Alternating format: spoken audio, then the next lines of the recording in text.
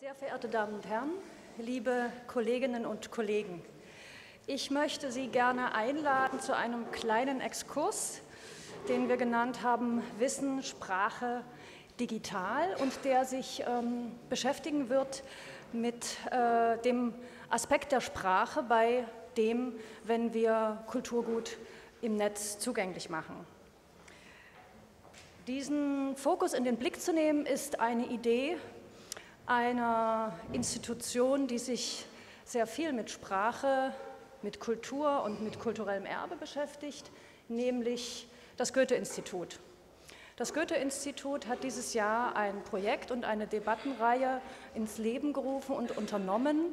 Es heißt Deutsch 3.0 und beschäftigt sich kaleidoskopartig in verschiedenen Veranstaltungsreihen und Formaten mit dem, was Sprache ist, wie Sprache sich entwickelt in den so bewegten Zeiten von Globalisierung, Digitalisierung, Migration und Ähnlichem.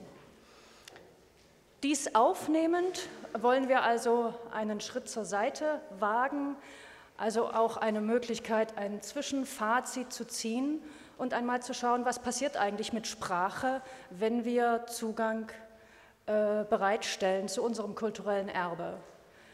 Wir arbeiten in den Metadaten, wir standardisieren, wir arbeiten mit Wortlisten, Normdaten, Thesauri, Ontologien müssen gemappt werden. Äh, und dabei natürlich reduzieren wir auch die Komplexität der Welt, die sich in unserem kulturellen Erbe äh, repräsentiert und äh, standardisieren auch Sprache.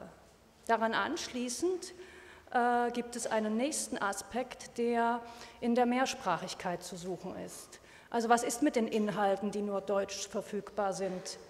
und auf an, in anderen Sprachen durchsuchbar sein sollen. Was ist mit den Metadaten? Wie werden die standardisiert? Wie gehen wir mit Mehrsprachigkeit um? All das sind äh, Gedankenspiele, die uns angeregt haben, um diesen kleinen Exkurs zu initiieren. Und ähm, ich freue mich jetzt als ersten Referenten Thorsten Siegmann vorzustellen. Er hat in ganz vielen Projekten mitgearbeitet. Ich glaube, sie sind alle in einem europäischen Rahmen ähm, konstituiert und gelaufen.